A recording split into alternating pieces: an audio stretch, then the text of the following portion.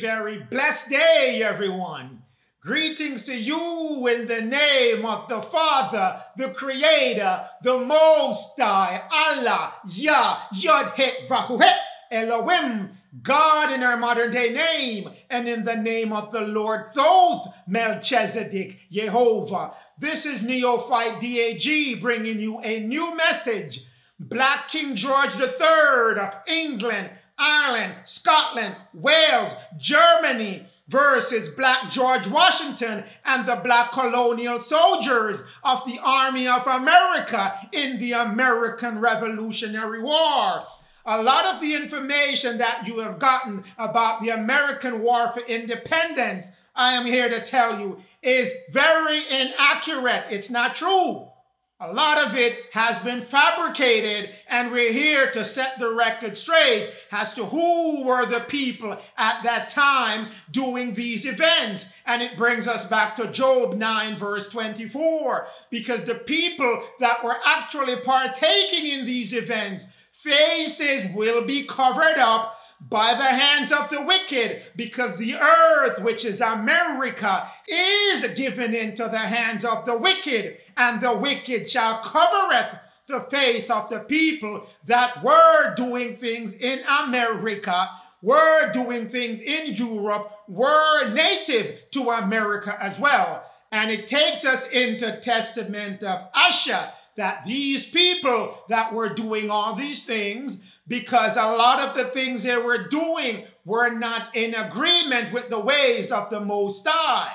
They were disobedient, not following the ways recommended to them by the Most High to follow their five divine laws in a righteous way. And therefore, their inheritance of this earth, their control over the planet, their control over America was reduced to nothing. They were utterly scattered in all four corners of America. That's where Testament of Asher 7 comes in. You will be scattered because of your disobedience. But there's a time limit on that scattering where someone will release that energy.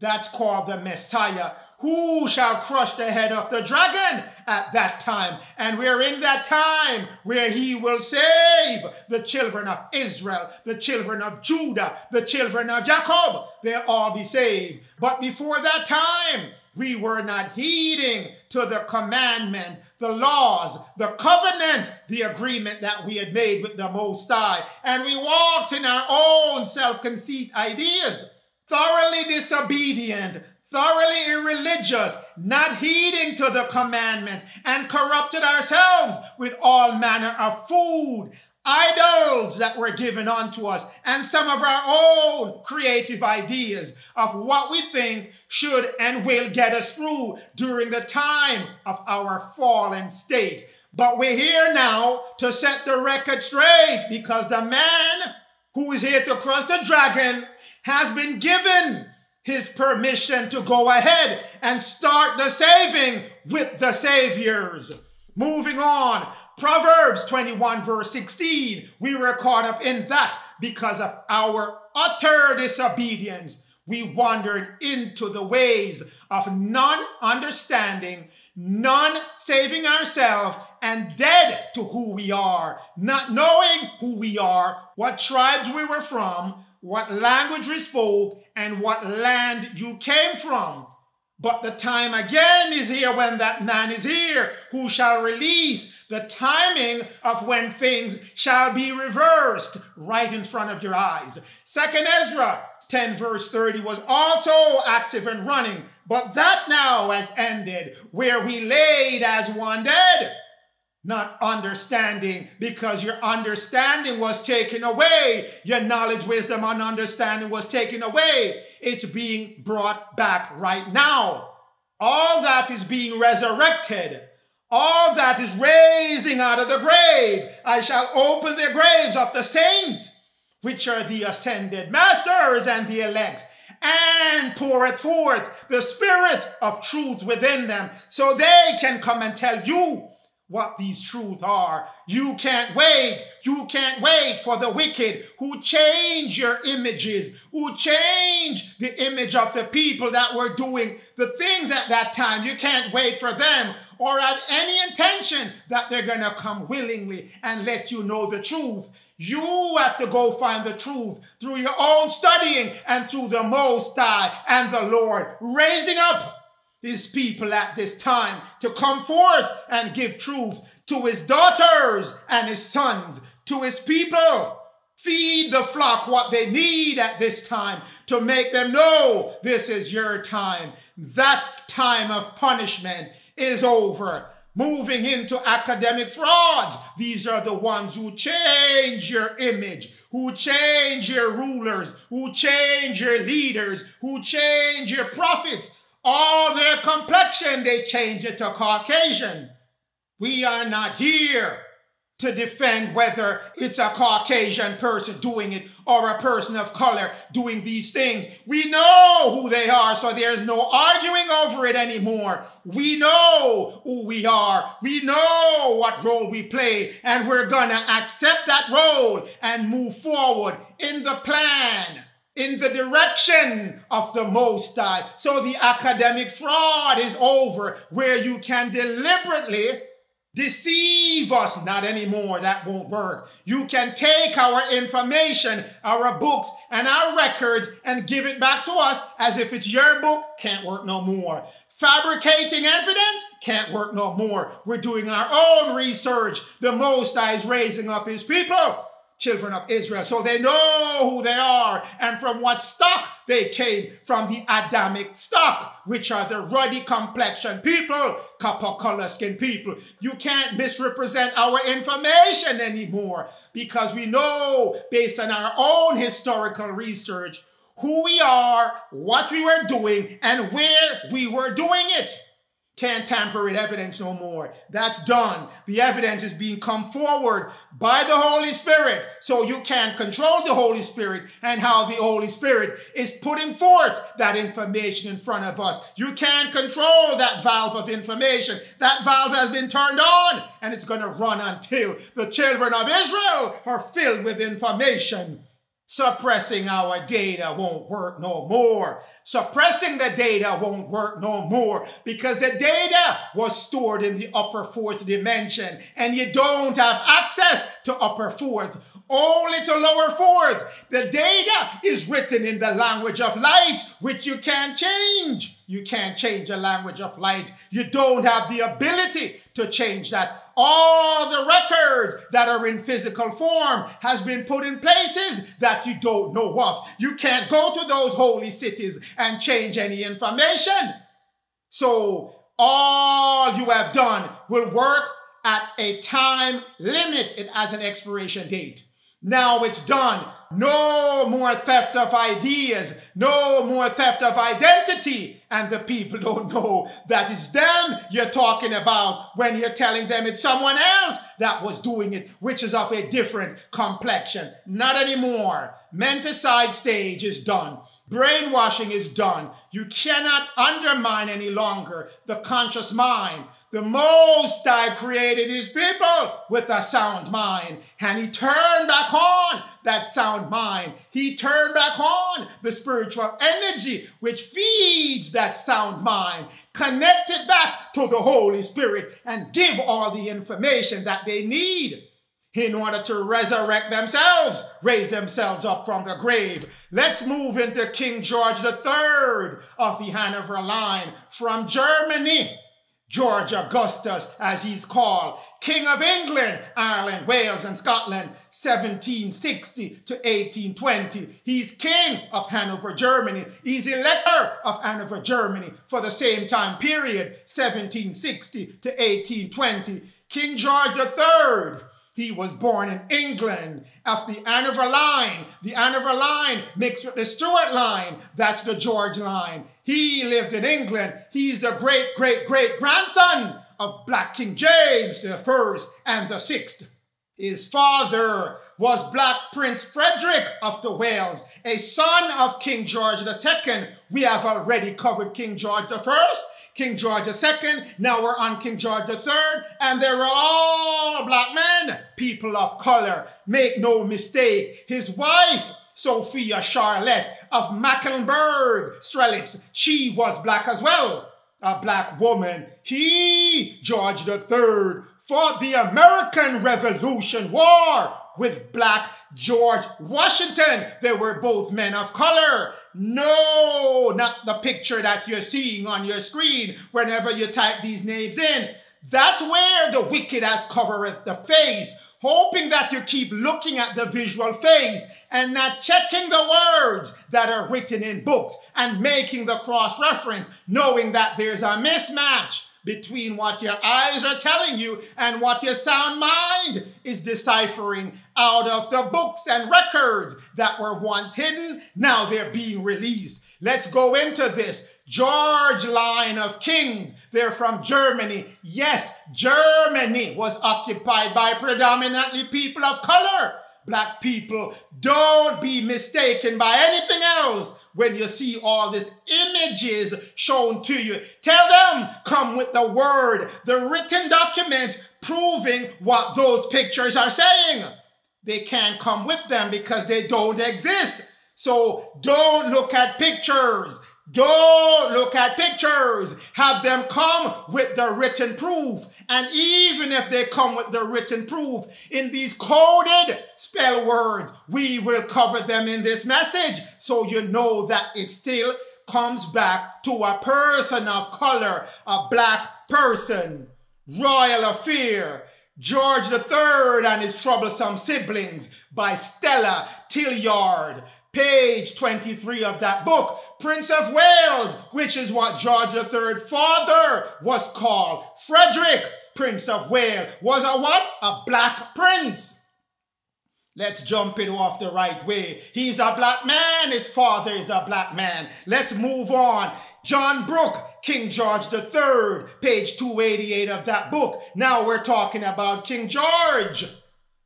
The most prominent feature of his face large nose, thick lips, his complexion was ruddy. We already hurdled over that spell word, so ruddy can't fool us anymore. We know it's a person of color, a melanated person, red in complexion, copper color, transform that person into a copper color, a brown race person in our time. No more you can tell us ruddy means a Caucasian person with rosacea cheeks. Not at all nonsense. Moving forward, this is what ruddy looks like. Ruddy red, ruddy gold, ruddy red, ruddy yellow. Take a good look because you'll see other words being thrown at you to mean the same thing. Sanguine, that's a ruddy red. A person of color, just the same.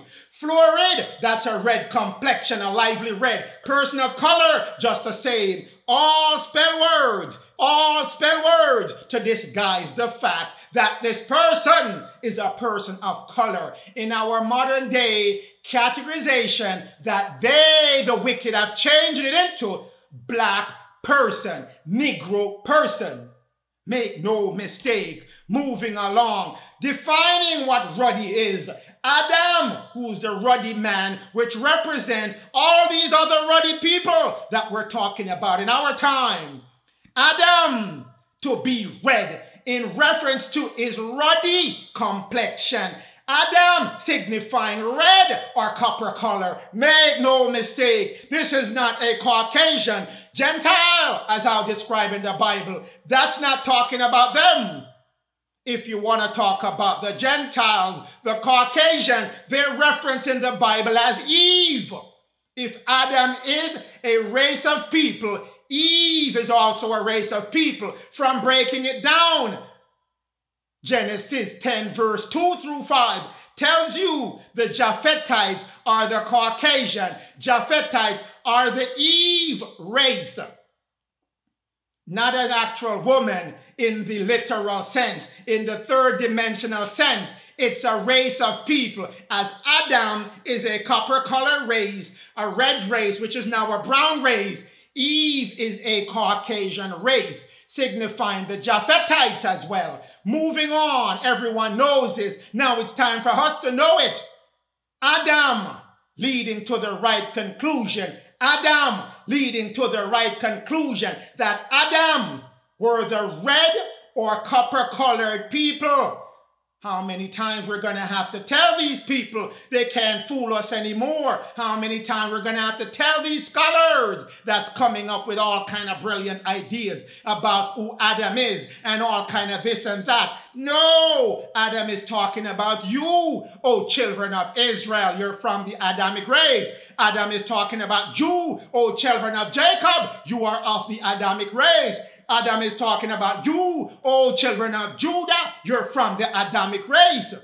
Make no mistake. Moving on, a royal experiment. The Private Life of King George III by Janice Hadlow. Sanguine is King George's complexion. Again, I pointed this word out to you, meaning ruddy as well, meaning reddish brown color. Still a dark skinned melanated man. Hasn't changed the fact of that. George III by J.C. Long, a biography, page 66 of that book, tells you about George III, Father Frederick. Didn't we just cover Frederick? And it told us Frederick is called Black Prince. Now it's giving you more specific. His father, Frederick, was dark complexion, almost like a Moor. A Moor is a black colored person. A Moor is a dark skinned colored person. Father dark skin, the son is dark skin, but a little lighter, as it tells you on page 67. George had a high coloring. Fair skin doesn't mean he's Caucasian people. Fair meaning it's clear of smallpox, which was plaguing everyone at that time. No more misconception about these tricky words that were being used in the time of the menticide phase. That's done and over with. Logic and sound mind takes root right now. Moving on. A royal experiment, the private life of King George III, Janice Hadlow, page 412 of that book. Charlotte, which is King George III's wife, her sallow complexion. Sallow means yellowish color, tinged with dark yellow. She's a light skinned woman. That's what the book is saying. But we're going to dig further to corroborate what this is saying. Dorothy Margaret Stuart, she wrote The Daughters of George III. Let's hear what she has to say. Charlotte Augusta Matilda, she is the princess and daughter of King George III and his wife Charlotte. Now it's talking about his wife Charlotte. Swarthy. Charlotte's mother is swarthy. What is swarthy? A dark complexion person being of a dark complexion, dark, dusky complexion. Her mother was a black woman. They called her a true mulatto face woman. Can't be any more specific than that. She was a black woman. Charlotte, the wife of King George III, a mulatto faced black woman. Moving forward in the same book, they talk about the queen specifically. Page 270 of that book. Queen Charlotte, her dark coloring. A dark skinned woman. The father is dark. The mother is dark. Obviously, the kids are going to be dark as well. George III, A Personal History by Christopher Hibbert, page 45. The guarded report of Queen Charlotte's appearance was described by Walpole when he said she had a rather swarthy. Anytime you see rather, rather means very, very swarthy, very, very dark complexion. That's what she had. Charlotte beyond a shadow of a doubt. Dark skinned woman in appearance, she was of what? Mulatto. She could pass as a mulatto. Dark skinned woman, dark skinned women in England, Ireland, Scotland, and Wales, and Germany as the crown princess and queens of those nations. Conclusion, be not fooled by the wicked who have covereth the faces of the people doing the things at this time. How desperate can you be to steal someone's identity? That's a major inferiority complex.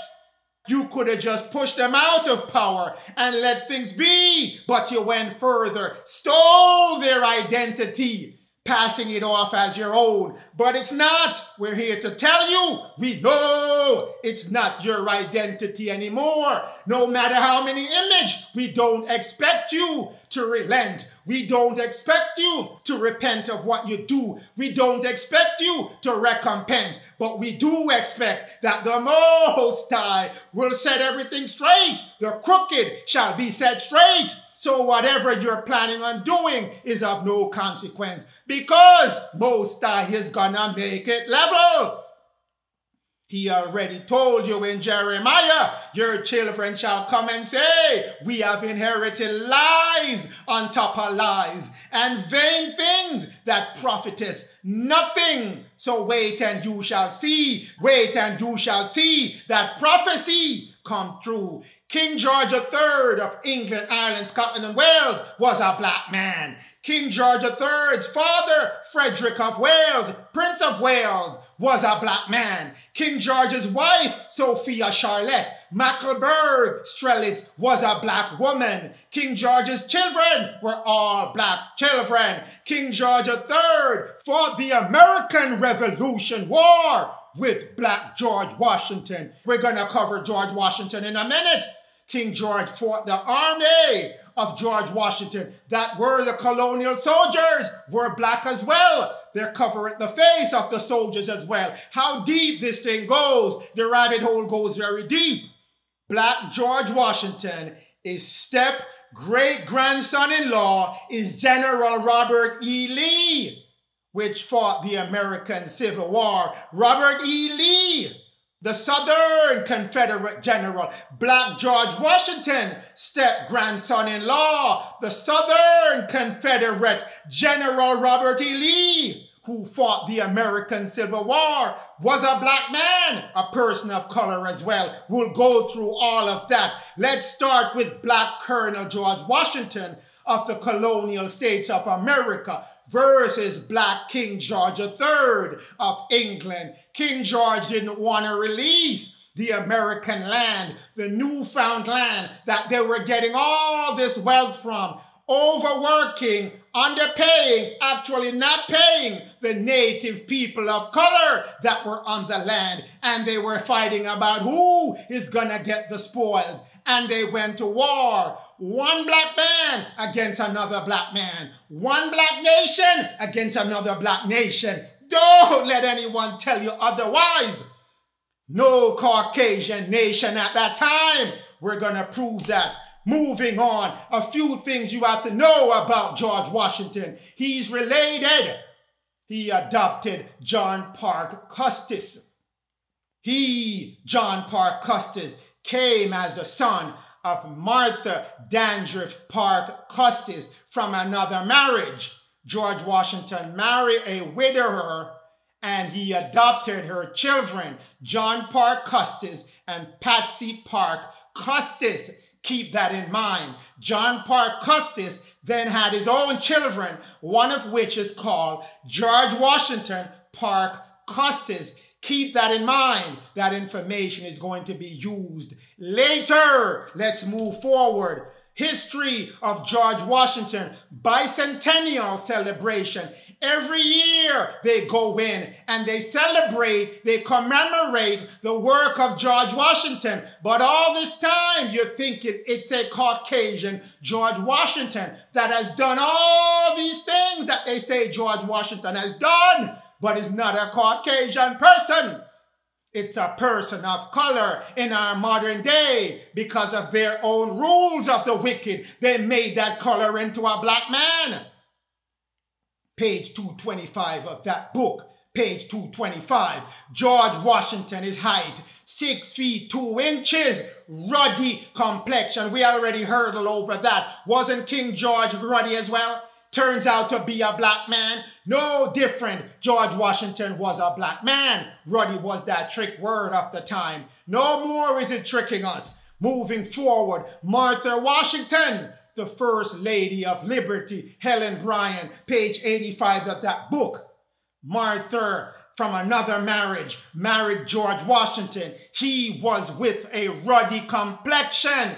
Same thing again. We hurdle past ruddy, no rosacea cheek man. None of that. He was a black man, fully black if we see him in our modern day time, fully black, if we see him on the street right now, we would say that's a black man. That's not a Caucasian man, sunburned or tan or whatever else you want to put to describe George Washington.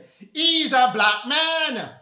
Mary and Martha, the mother and the wife of George Washington, by Benson J. Lossing, page 105 of that book. Washington, his complexion is florid. We already got the pre-warning that florid means ruddy. Can't fool us with that no more. Moving on, George Washington, a biography. John R. Alden, a British officer who met Washington. I repeat, a British officer who met Washington. So he met him, not coming from the lies that you're seeing on the pictures on Google that didn't see George Washington. Let's hear what this man had to say who met him. Later reported he had a dark complexion, have a foreign look, a dark man. That's what he was, a black man in our modern day time, the young Virginian was. Moving on, George Washington, a biography by Douglas Southall, Freeman, volume 2 of that book, page 239.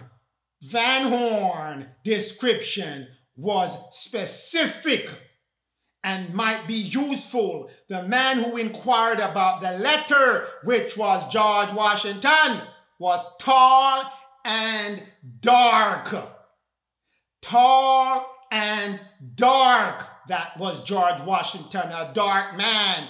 What tall, dark officer was there in America? 38 years of age and unmarried, the only officer in any way that could answer to that description was Colonel George Washington, a dark skinned man, a black man in our modern day description for a dark skinned man in America. Page 240 of that same book. Loudoun consequently asked Kennedy. Loudoun consequently asked Kennedy for a description of the Virginian Colonel George Washington. Kennedy replied and said, Washington, said the Captain Kennedy, was a man about six feet of height. We already confirmed that of what complexion? Black complexion. A black man Put that in your book and teach that in your schools rather than continuing with the lies, the academic fraud that continues going and going and going. The menticide is done, O children of Israel. The Most High has opened up the spirit of truth, not of only what's going on around you, but the truth of His laws. Is five divine laws, seven principles of the Lord Thoth makes it 12. Your two statutes. No graven image, no molten image, none of that in your life. And observe the Sabbath as the holiest days of all the days. That's the truth that's being handed back to you, on top of all the other truth about who you are, where you're from, what language you speak, and what tribes you belong to, and what tribes you belong to. George Washington's stepdaughter, Martha Patsy Custis. As I've told you, he adopted two children. Martha Custis, also nicknamed the Dark Lady, as they called her, because of her deep brunette complexion. What is brunette? A dark skinned woman, a brown skinned woman. That's a brunette, not her hair, as we've been misled during the time of the academic frauders rule over the school system, rule over the educational system. She's not a Caucasian woman that with a brunette here. No, she's a dark skinned complexion woman, confirming it even more. Martha Washington, First Lady of Liberty, going back to this book, tells you Patsy again, called the Dark Lady because of her brunette complexion. Brown skinned woman or a dark complexioned woman. George adopted her, treated her his stepdaughter, treated her with care, and had love for her. Martha Washington by Anne Hollingsworth Wharton, page 66 of that book. Martha Custis, as she is called, the Dark Lady, as she was called, in consequence of her brunette complexion. Again, three things corroborating that she's a dark skinned woman. His adopted daughter.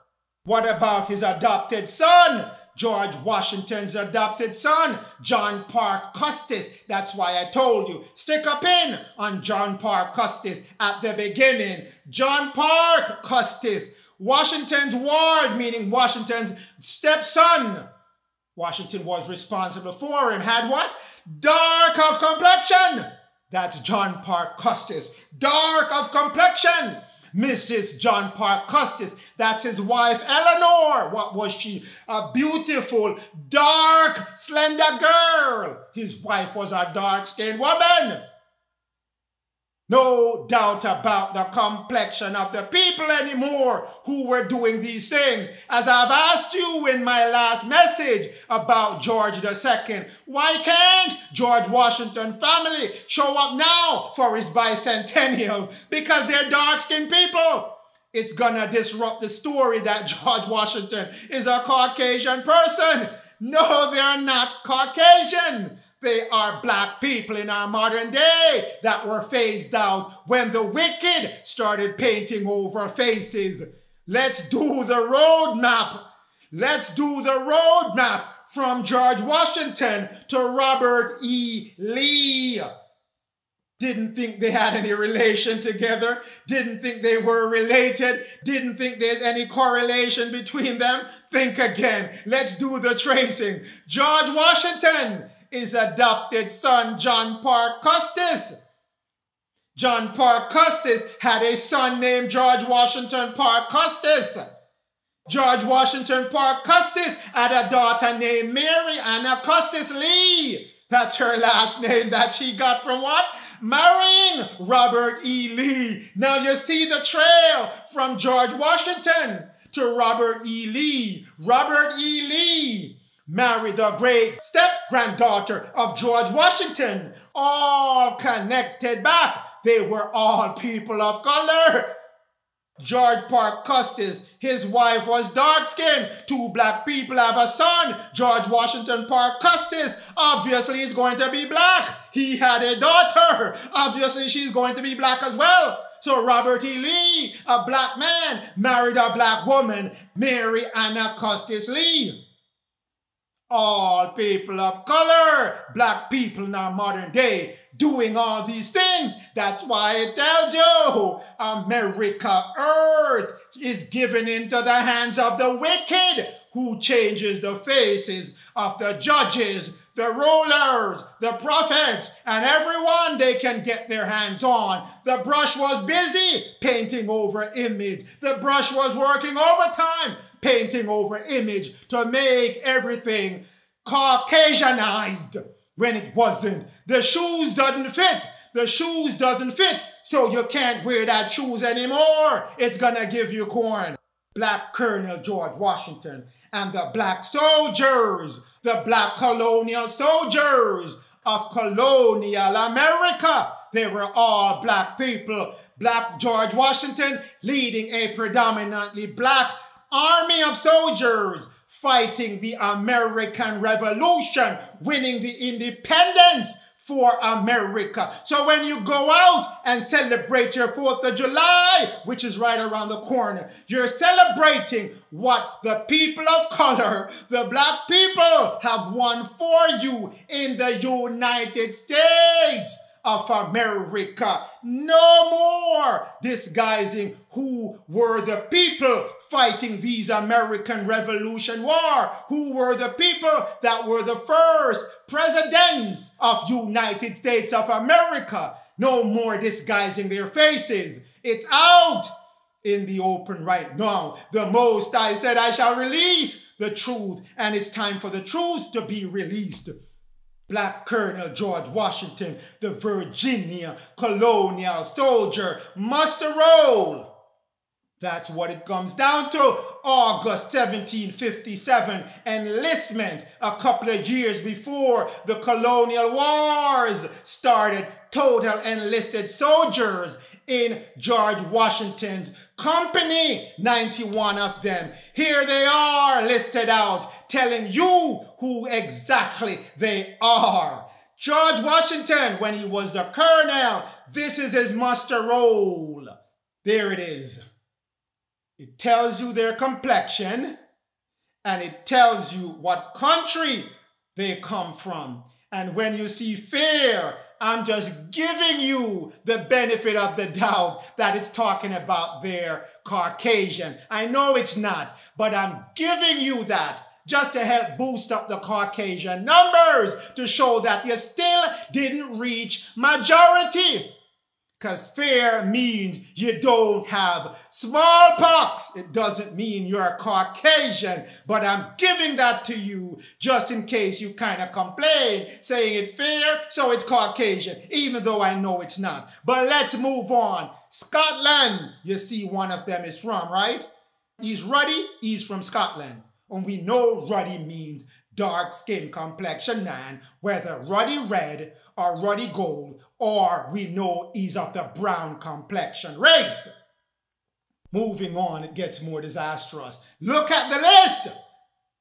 All these people, dark skin in brown color, Caucasian as we put it, fair skin in red.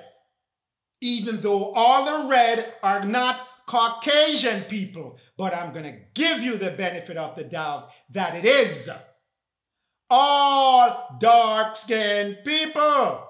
They're from England, Ireland, Scotland, all over Europe.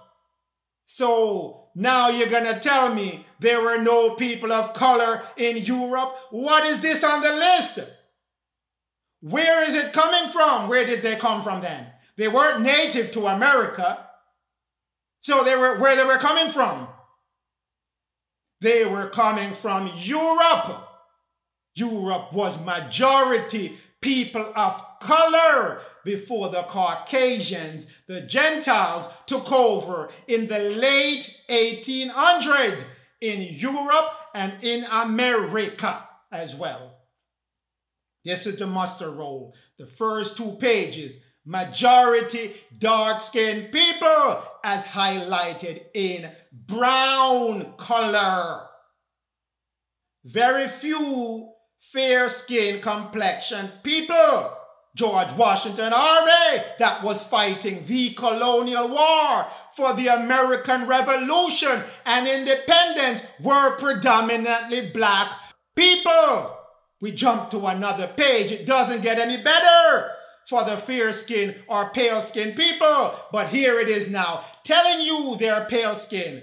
That one I can give you because I know pale skin is clearly a Caucasian description based on all the research, but I'm still to give you some of the fear. I'm to give you the fear to help boost your number. Still won't help you because it doesn't get you to the amount of brown colors describing the black people, people of color that were in the army of the colonial America from England, Ireland, Scotland, Wales. That's where they were coming from when you hear Oliver Cromwell, Oliver Cromwell banishing and kicking out people out of England, Ireland, Scotland, and Wales. Do you think he's kicking out pale skin and fair skin complexion people only? You have to be out of your mind once you start opening yourself up to truth.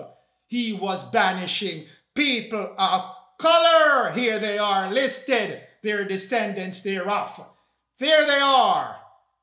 People of color making up a colored man army. George Washington, his army was predominantly black men in his army.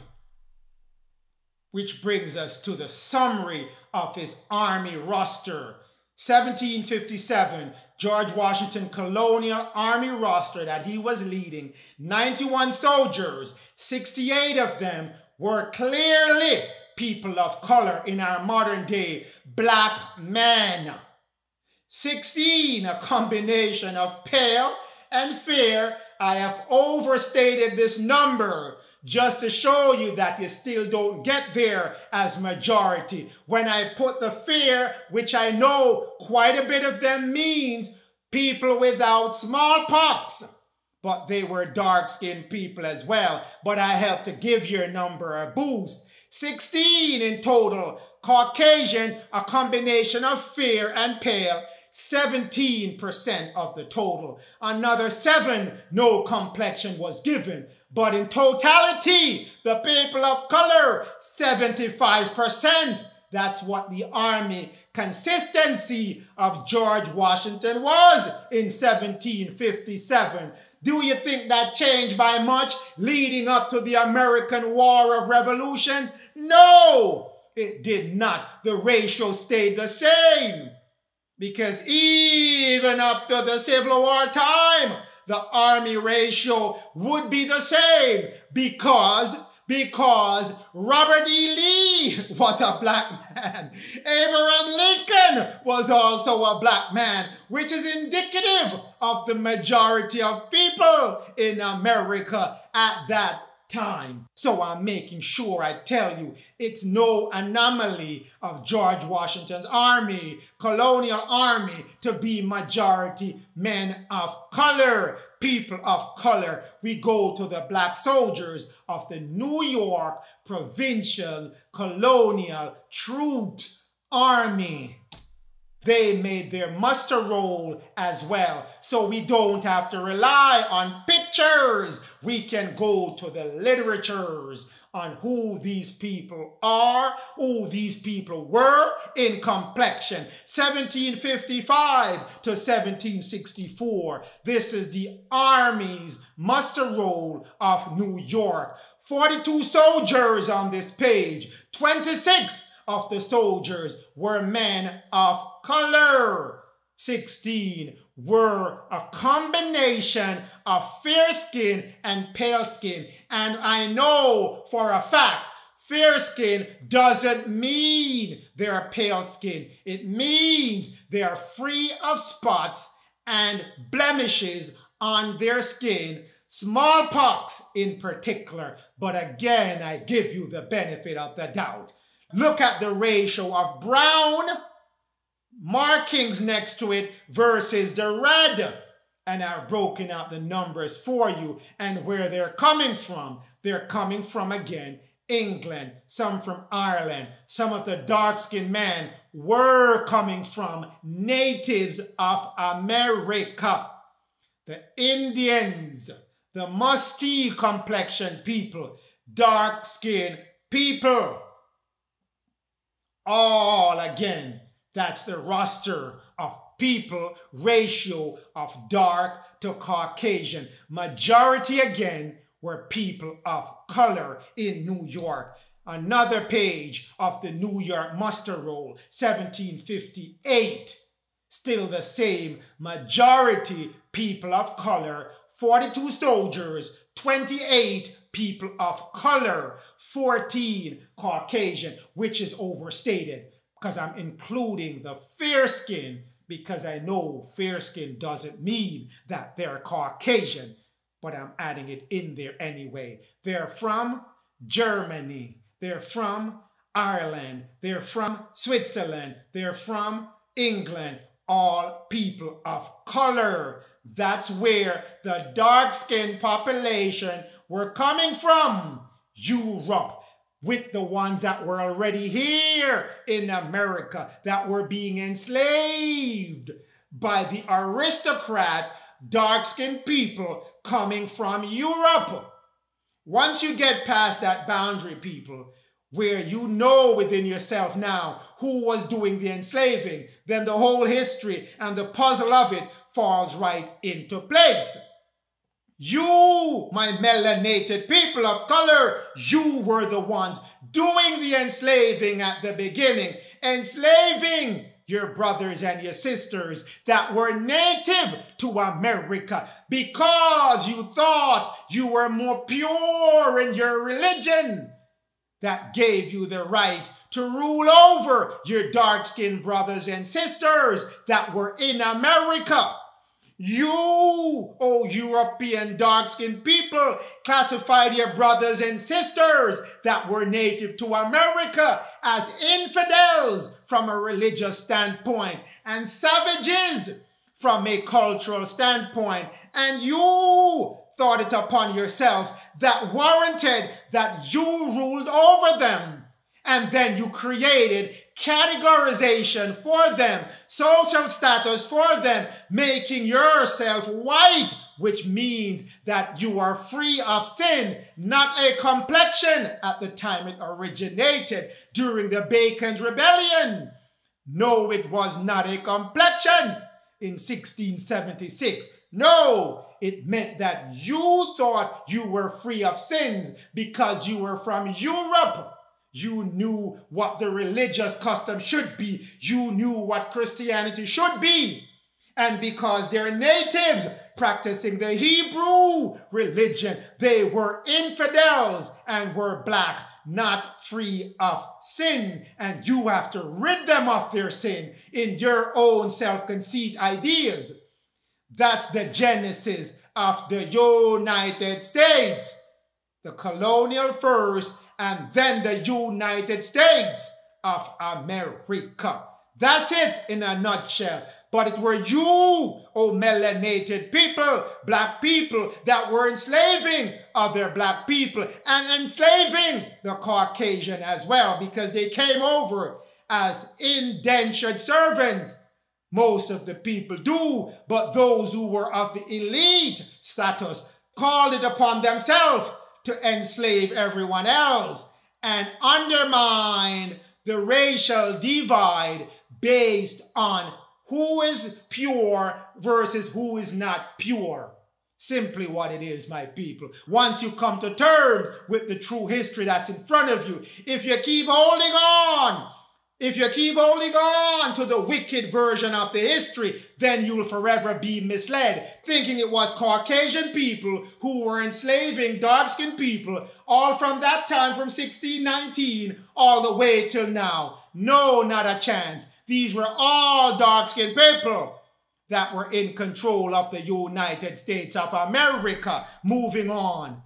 Another muster roll. 36 soldiers, 25 of them are black men, black enlisted men, all type of description for them.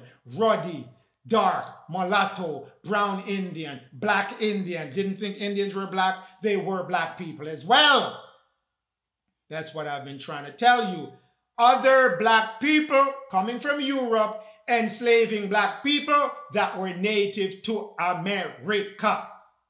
Make no mistake, but the majority of the people that were fighting for America's independence, so called independence for the elites, were people of color, not Caucasian people as we think in our modern day. So my melanated people, when they're celebrating 4th of July, they're celebrating your victory to win America from England and making it your own land, even though most of what you did was for the benefit of the elites who continued to rule over not only the natives, but also the lower class people of color, as they put it, giving you a white status to make you feel good about yourself, but you are still being enslaved by what we call the elites that were in America at that time, which are still people of color. Let's fast forward another 90 to 100 years in America.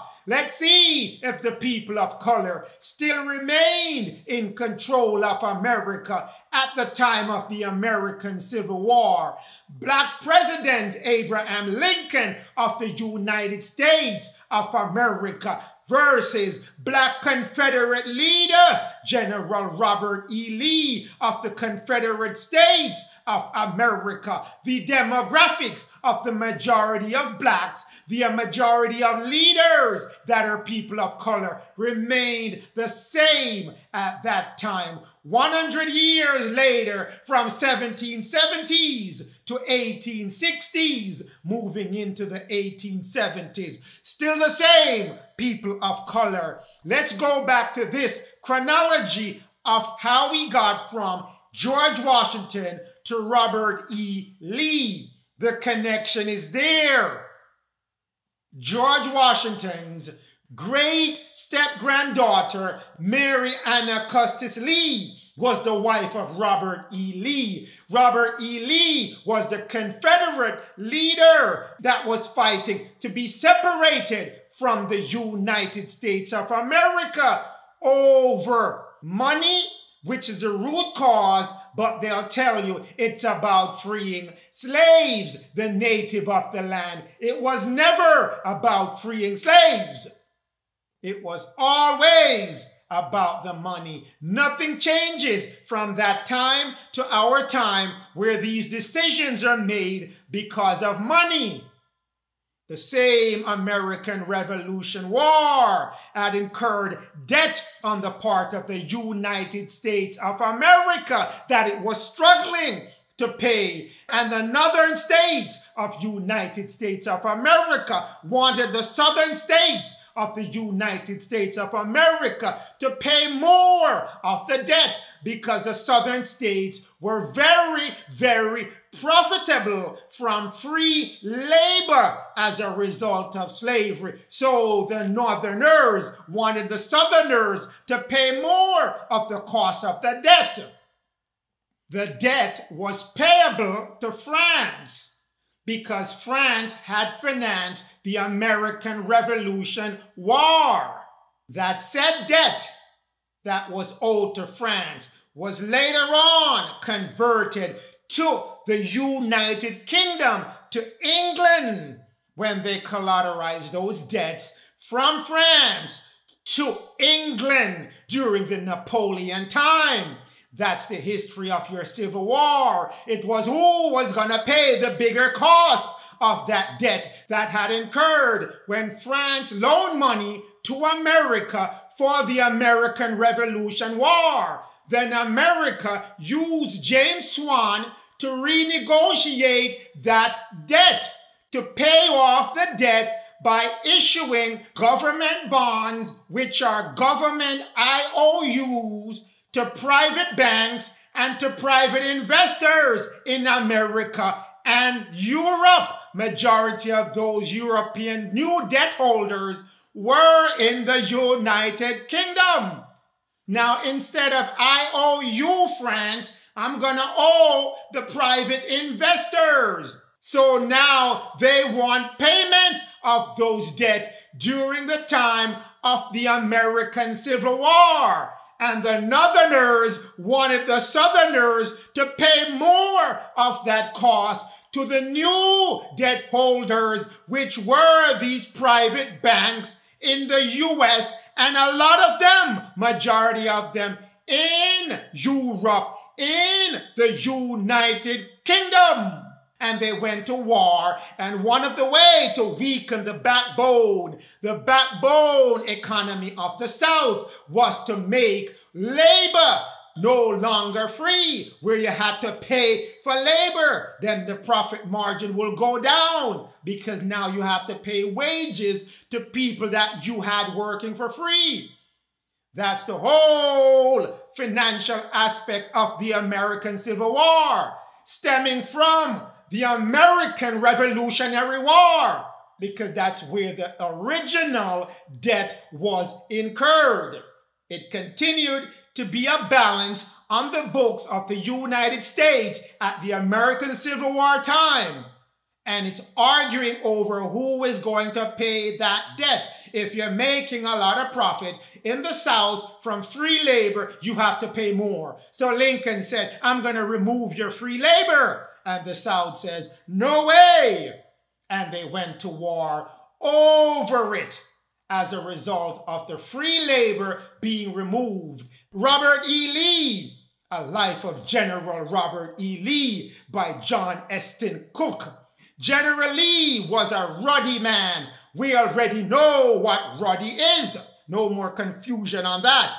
Robert E. Lee, a portrait by Margaret Sanborn, page 380 of that book. General Lee, people who saw him say he had a ruddy complexion wrote it in his notebook. General Lee had a ruddy complexion. We already know what ruddy is. No sense in spending extra time on it. Robert E. Lee, a biography by Douglas Southall Freeman, volume one of that book, page 98. Lieutenant Lee at the time, he's a ruddy complexion engineer. No sense in spending time on ruddy. We already hurdled past that. We go to page 450.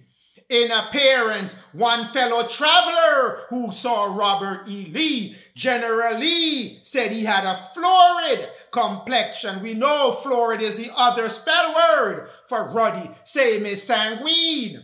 All the same meaning. A person of color, a dark-skinned melanated people. In our modern day, we call them black people. Robert E. Lee the Man and the Soldier, a pictorial biography by Philip Van Doren Stern, page 237 of that book. Mr. Lee's wife, Mrs. Lee, which is Mary Anna Custis Lee, who knew what her husband looked like described him as florid. She herself was a black woman. We already done the family lineage to know what color she was, and she certainly would have known her husband color. He's florid, another tricky term, but we know it means ruddy, a dark-skinned melanated person.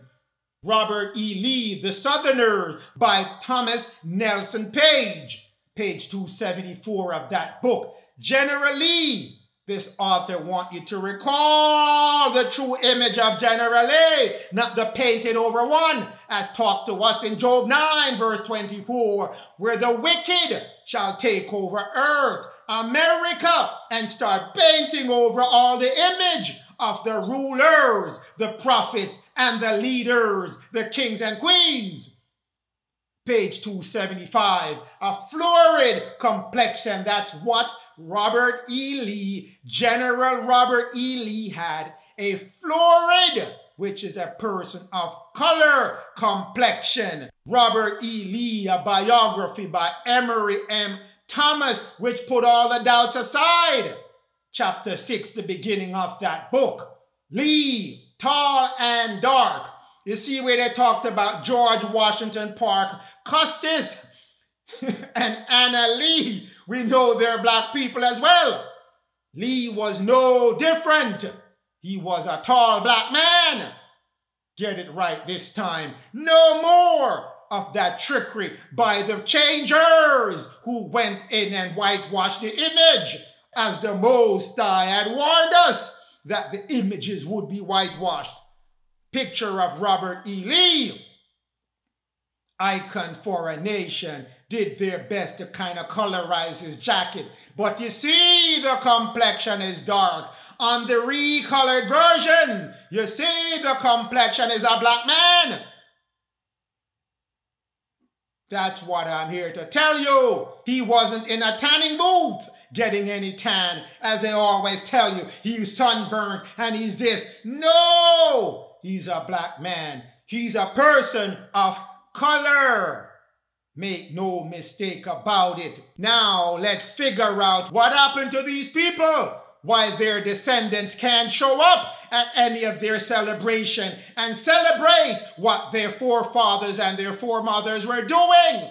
Because they got whitewashed because they got erased with the 1924 Racial Integrity Act, which says when the Caucasian took rule of North America, when the Caucasian took rule of Europe, they came up with this law in Virginia, which spread across the entire United States of America, Racial Integrity Act of Virginia. It says in order to continue to be classified as white, as pure and free of sin, they change it over into a complexion classification. A person who has no trace whatsoever of any other blood but Caucasian. That's the only way you can continue to call yourself white. So before this rule, right? What was it? What was the classification? If now at this time you have to say you have to be Caucasian to be white. What was it before? When we were on the menticide, we didn't ask these things. But what was it before 1924 when you said it was Caucasian? What was it before 1924? It was any person who is of European ancestry was classified as white because you did not classify yourself as an infidel savage. You classified yourself as a Protestant civilized and pure of sin. So that's why you gave yourself the white classification. But when the Gentiles or Caucasians took over in 1920s, that's when they fully changed the rule on you. Now they're saying you have to be a Caucasian in order to be classified as white. So what happened to George Washington family? What happened to Robert. Lee's family? What happened to Abraham Lincoln family? What happened to all the families of King Charles? All the families of King James? All the dark-skinned people that were in the army that fought for American independence? All the dark-skinned people that were in the Civil War army fighting for unification and de-unification of America? What happened to them? The racial, the Racial Integrity Act require that you have to be Caucasian in order to continue to maintain that status pushed by Walter Plecker. We all know of Walter Plecker. If you could not prove that you had no trace other than Caucasian blood, you became colored. So instantly, if you are dark skin complexion, you could not and you had no ability to prove that you were 100% Caucasian. So you instantly became colored. They didn't make you black. They made colored of everyone who fit outside of the Caucasian 100% blood. That's what happened in 1924, rolled out across the entire United States of America. Then in 1930, they amended that said act from 1924 to classify you now because the story has to stick while we're changing your record and painting over your images that you were from Africa. So you wouldn't know that you were part of the original foundation of United States of America, that you founded the United States of America July the 4th is your day, even though you were enslaving other people on this land that were also of a dark complexion. So they came up with you are African American. You're not from Africa. You are from Europe or you are from the original people of America. That's majority of the people. Some came from Africa, but of the Guinea coast.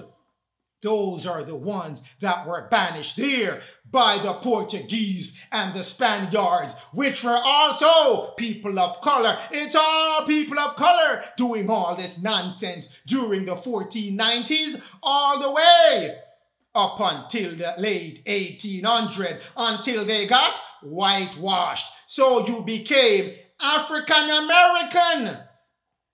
Can't find your way back to how you came from Europe founded America, gave it its independence from UK, and then you fought a civil war fighting for you're to keep people enslaved versus freeing them up and paying off debt that you incurred to France, which was a black ruled country as well. All black people, even Napoleon at the time was a black man. He wasn't born in France, he was born off the coast of Africa, off the coast of Italy. No, all this history is lies on top of lies on top of lies. You had to now hurdle two things. You have to hurdle that you were not from Africa. That's your first hurdle. Then you have to hurdle because the thought is you're from Africa, that you're not from Europe. You have to now hurdle that you're from Europe. If you can't get past the Africa hurdle, oh, you can't get past the Europe hurdle. That's why the job is now for the Most High waking up his saints and saying, go tell these people what land they belong to, what language they used to speak, and where they are from. Western Europe, North America, you were there. No matter what they say or how many acts they passed, this is how they mixed you in. Let's look at the Virginia Racial Integrity Act to preserve racial integrity. Remember, we talked about Queen Charlotte? who had the face of a mulatto. Let's figure out where Queen Charlotte would have been placed based on the Racial Integrity Act. A mulatto is the offspring of a Caucasian person and a Negro. That's what the new rule says. So if you're a mulatto, you're going to fit into this category. Let's read on. A quadroon is the offspring of a mulatto and a Caucasian person.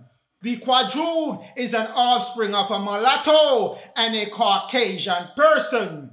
An octoroon is the offspring of a quadroon and a Caucasian person. Mixtures of any of these three, mixtures, I say, of any of these three should be designated as what? Black, Negro, colored. Instantly, you lost your white social class status, and now you're running around in United States of America as a black, Negro, or colored. That's why I'm telling you, these people are here with you. They can't show up at their own bicentennial. They can't show up to represent their families because their family has been changed to Caucasian by the whitewash. And they, the true family, has been classed as black, Negro, colored to this date until different. That's what happened to all the families that I just described, the ones especially that were in America. That's what happened to all the colonial soldiers who fought for your 4th of July celebration. That the majority of the colonial army were people of color. They became mixtures of Negroes and colored. That's what happened to them. Now let's talk about the people that were natural to the land, which they classify as Indians. Page three. We're still on page three. That's the troublesome page. Page three. The term Indian will no longer be accepted for that class, but must be applied only to those known pure Indian blood. That's how the $5 Indians term came up because only they were classified as Indian. Everyone else that was of a different color, native to the land, let's see what happened to them. But if there's a mixture of Negro in those Indian, they must not be classed as Indian, but as Negro or mixed Indian. No one used that mixed Indian category. Straight up, they were classified as Negro, just as the dark skinned people that came from Europe doing all the things before the colonial time, after the colonial time, before the Civil War time, after the Civil War time, they were in one of those two categories. Still black, Negro, colored. That's what your Racial Integrity Act did to hide these people and push up new rules that they had to be Caucasian to classify themselves as white. That's what happened to you in the United States of America. So, all this time since 1924, we're coming up to 2024, right? We're almost a hundred years. They have been telling you, you weren't in Europe, you weren't in America. Anyone that's of color came from Africa. Lies on top of lies. The Most High and the Lord told you Lucifer is a liar, and all those who follow him is a liar. Just like their father that tell lies, they have to tell lies. So when Esau tie himself, the Caucasians that want to be in the ruling class tie themselves to Lucifer and became Esau. They were going to tell lies on top of lies to cover up the lies on top of lies. My people, do you know how much resource has gone into maintaining this lie? Do you know how many schools, how many economics, how many political, how many church and religion and Christianity effort, how many food effort has gone into keeping this lie active. Someone really doesn't want you to know yourself that you are these people doing the job. They didn't just take the identity, they made sure any trace of you was not there. But I'm here to tell you, you were there. Back to the three groups of people that were captured in this colored black Negro category once they slashed it and say you have to be Caucasian. We're now going to take your place and everything that was in white, everything that classified a person as white before 1924, we're going to assume all that history for ourselves. That's why when I come and I tell you Cromwell was not a Caucasian person, even though you see things written that he's white. It's talking about the social status because someone else stepped in, filling all that history for themselves, the good and the bad, and take it as their own. It's going to be a massive shocker when people truly understand, especially the Caucasians who have been living this lie unknowingly because their forefathers didn't tell them about this lie that occurred during the 1920s to change the entire history of the structure, the people structure of America. But let's get into it. Category one indigenous people that were in Spain and Portugal. They were expelled from Spain and Portugal as part of the Roman Catholic persecution. They were abandoned to islands off the Guinea coast, Sao Cape Verde, Malabo, the Canary Islands, and they were sold into slavery by the Spaniards, by the Portuguese, to the Europeans, to the Europeans, the English and the French and the Dutch slave traders. And that's how they came into North America through one of that vine. And they were immediately classified as Negro, then as black as of 1676. Once they touched the soil of America, black.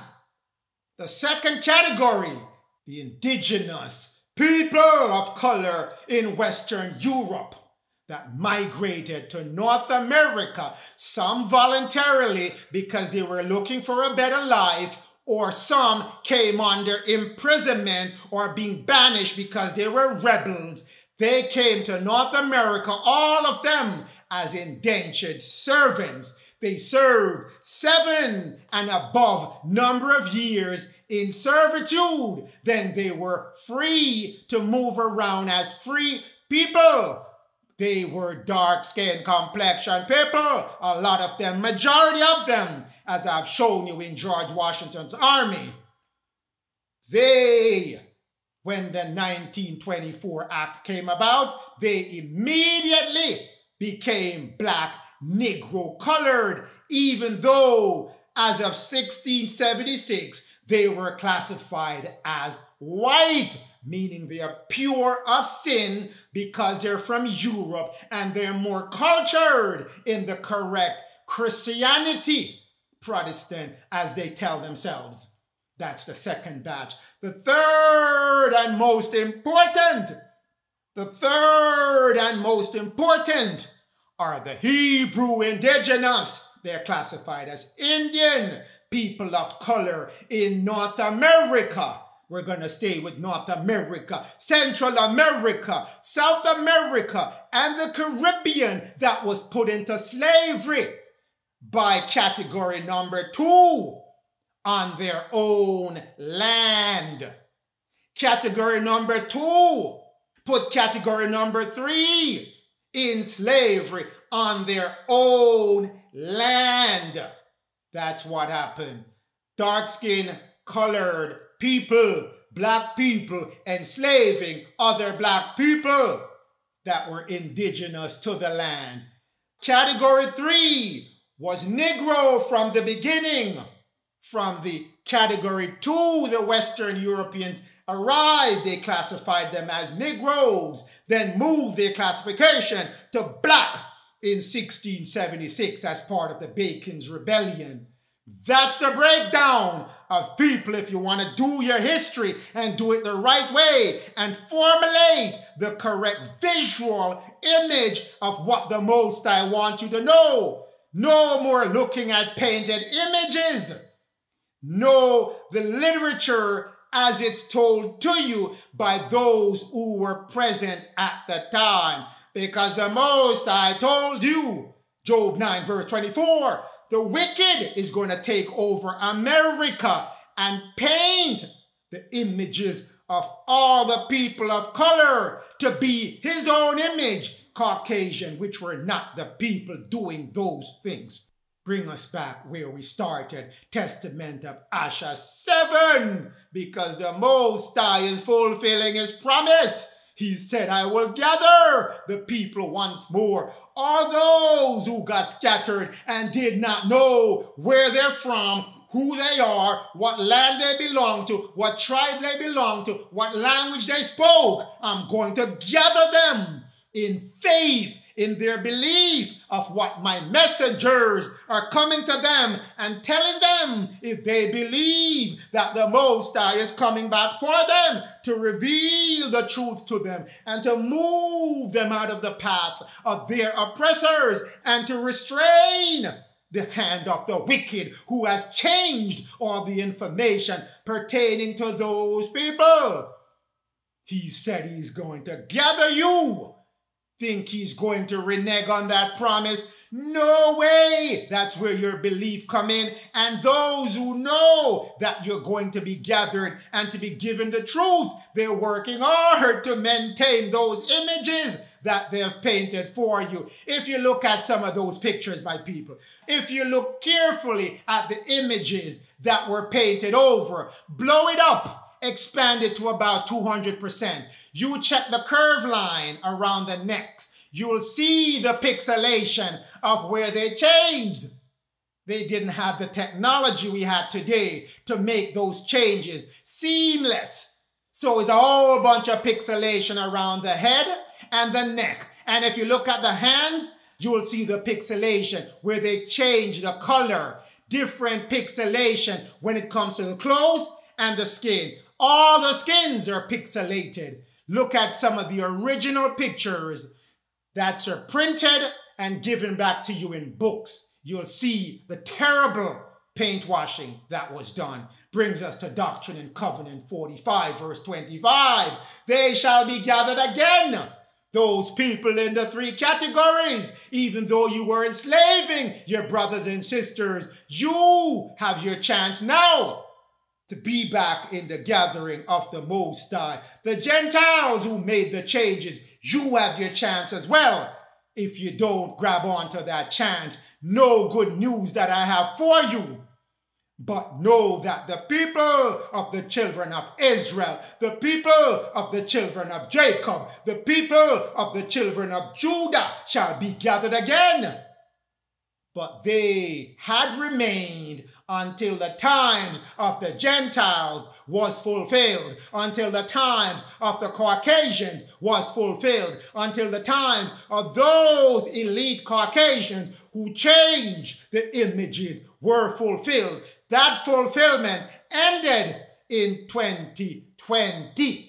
So now it's borrowed time that they're on. So seek ye the knowledge, the wisdom, and the understanding of the Most High, and reopen your sound mind so you can see and know and never be out of line with the direction in which the Most High is moving this movement right now. Stand strong, O children of Israel. Stand strong, O children of Judah. Stand strong, O children of Jacob, in the name of the Most High Allah. Yah, Yod, He, Fahu, He, Elohim, God in our modern day name, and in the name of the Lord Thoth, Melchizedek, Jehovah, Praise be unto you, O my Lord Thoth, because you have brought back the spirit of truth in the Son of Righteousness, Prince Louis, to release all the energy on us, to wake us up out of our grave.